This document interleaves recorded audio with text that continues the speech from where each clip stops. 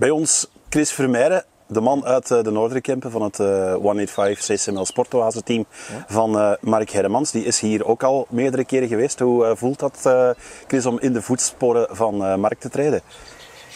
Ja, dat is natuurlijk wel heel speciaal in de voetsporen van Mark Treden. Ehm, het is nu de derde keer dat ik hier ben. De vorige twee keren was 2011 en 2013. Dus het is wel, eh, wel wat jaren tussen nu.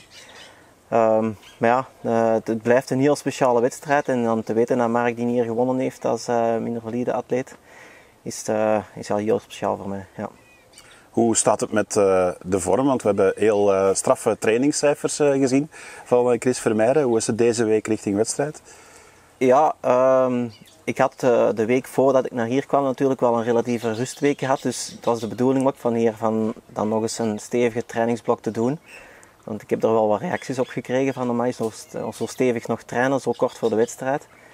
Maar het voelde eigenlijk allemaal heel goed aan en redelijk gemakkelijk. Het was in het begin wel een beetje acclimatiseren, omdat de vochtigheid en de warmte, hoe een hartslag gaat direct eh, nogal een pak omhoog. Maar het is nu al eh, veel beter en eh, de laatste trainingen zijn eigenlijk heel goed verlopen. Veilig ook. Dus, achter de brommer, Ja. met je broer Ja. als, als chauffeur, zeg maar, als, als piloot. Ja. Hoe is het om hier samen te zijn? Ja, wat koppels aan natuurlijk. Eh, normaal had ik hier met mijn vrouw geweest, maar die heeft eh, drie weken of, twee maanden voordat we naar hier kwamen longembolie gehad. Dus die mocht niet vliegen. En dan heb ik een vervanger gevonden bij onze Flip. eh, en maar die doet dat natuurlijk ook heel graag en, en goed. Die zorgt ervoor dat ik eigenlijk niet te veel stress en alles rond mijn kop heb. Hij zorgt voor het eten, hij zorgt voor de, voor de rust rond mij. Dus heel gemakkelijk. En dan eh, ja, op de brommer was natuurlijk was hij eigenlijk een heel plezante dag dat we gehad hebben. Zie je Flip hier ooit ook nog eens aan eh, de start staan? Of staat triathlon bij hem wat op een laag pitje? Het staat nu de laatste jaren wat op een laag pitje, maar natuurlijk als je hier dan rondloopt eh, in het mekka van een triathlon in deze week is natuurlijk, eh, dan kriebelt het bij hem ook wel. Ik denk wel dat hem nog wel eens terug gaat, beginnen, maar om terug deze niveau te halen natuurlijk, moet er heel veel tijd in alles in investeren en ik weet niet wat hij daarvoor over zal hebben. Ja. Want jullie zijn eigenlijk twee talenten, maar ook eh, twee hardwerkende gasten uit, eh, uit de Noorderkempen, die overdag ook nog een zware job hebben. Hoe, hoe is dat om, om dat, dat zo te beleven, van, dat je hier tussen al die, eh, die toppers staat?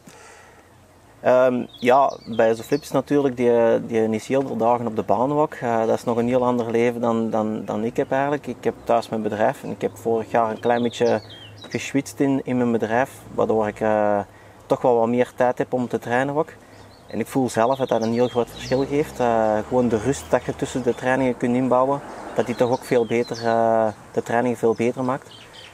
Ehm, ja, dat is eigenlijk wel een groot verschil. Ja. Als je nu kijkt, Chris, het niveau wat jij de laatste twee seizoenen haalt, en zeker dit jaar, en, en eh, zaterdag zeker ook even afwachten van, van wat het gaat worden. Maar ik, ik, ik vermoed dat het een goede wedstrijd kan eh, gaan worden. Denk je dan soms niet van, goh, had ik hier maar vroeger mee begonnen?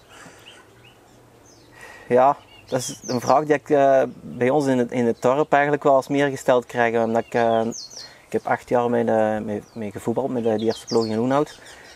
En de laatste jaren was dat zo'n beetje ja, een verplicht nummer precies elke week. Eh, maar ik bleef dat wel graag doen. Maar achteraf gezien zeggen ze van ja, hadden dat niet beter vroeger al met triathlon begonnen. Het is nu zo gelopen en eh, ik heb er eigenlijk altijd plezier in beleefd. En wel ja, zolang het dat eh, is, dan, dan blijf ik het zo wel doen. Ik vind het eigenlijk altijd nog wel plezant. Dus. Ja, want jij bent, de, met alle respect, de ouderdomsdeken van, Ja. eh, van de groep. Hoe, hoe oud ben je precies overigens? Ik word er 43 in november. Ja. Gelukkig voor Geert Laurijsen dat er dan nog één iemand ouder is dan hij. Dat is al ja, jonkies. Dus, eh. Hoe, is, hoe is het met Geert? Eh, Want die, die komt twee weken later ook in actie, maar dan op het WK Xterra in Maui. Ja, ehm, ja, hij is wel goed bezig, denk ik. Hij zit veel in Spanje, naar vanuit dat ik kan lezen. Ehm, ik denk wel dat hij heel veel schrik heeft uh, voor naar Xterra te gaan in Maui. Ehm, vooral dan om gecheckt te worden daar, weer al, door Duffy. Ehm, maar ja, dat dachten we toch eh, dat dat ging gebeuren. Dus, eh, ja. Dat ga jij niet laten gebeuren.